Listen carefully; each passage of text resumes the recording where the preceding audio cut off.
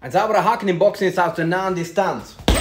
Von sehr nah mit einem sehr engen Ellbogenwinkel. Also ich bin hier, Ellbogenwinkel nah und dann drehen. Ha? Ungefähr so. Von da, wupp, wupp, wupp. Wupp, wupp, wupp, wupp. Oder, ha? hopp, hopp, hopp. Wupp. So sollte ungefähr ein Haken geschlagen werden. Und ich bekam Kommentare, einige, hey, oh, der bleibt da niemals stehen. Erstens, im Boxen ist immer Timing. Niemand bleibt stehen. Man erwartet den Moment. Ich weiß, wann er in der Distanz ist. Zum Beispiel, du bist ein bisschen hier, raus, ha? hopp, hopp, unten, hopp. Mega einfache grundsätzliche Combo, bup, bup. Ha? Bob and Weave. Rechts, unten, links, und hopp. Ähm, der Kommentar war auch, ja, weil es zu nahe. Und ich bemühe mich jetzt nicht, Mike Tyson Videos rauszuholen, wie er genau das macht. In der extrem nahen Distanz, Peekaboo, extrem enger Ellbogenwinkel und dann den Haken von da. Ich bemühe mich auch nicht, Videos herauszunehmen von Freddie Roach, dem besten Boxtrainer der Welt, wo er sagt, dass ein sauberer Haken immer innerhalb von 90 Grad Winkel ist.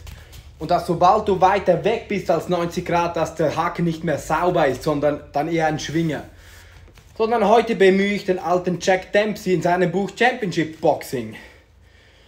Und da sehen wir die Darstellung des Hooks. Und auch hier, wo er sagt, ha, viele verwechseln den Schwinger mit dem Haken. Und weil der Schwinger, der ist von weit außen, wupp, der geht weit, lange Distanz. Ha? Long Hook ist nochmal was ganz, ganz Schwierigeres. Er sagt, es ist ey, zwischen Leben und Tod Unterschied zwischen diesen beiden Schlägen. Der Unterschied ist bei dem Hook ist der Ellbogen scharf gebogen, sharply bent innerhalb, okay? Freddie Roach hat auch mal so schön gesagt, bei einem sauberen Haken, wenn die Faust verfehlt, trifft der Ellbogen, okay?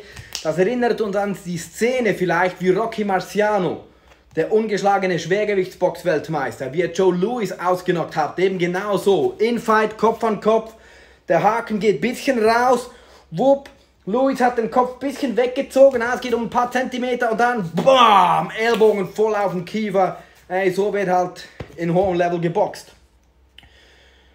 Der, Schwing, der Schwinger sei der natürlichste Schlag, aber hier geht es um den Haken. Ihr seht auch hier ganz eng gemacht, enger Haken. Bespricht hier Unterschied, Haken da. Und hier wieder sharply bent.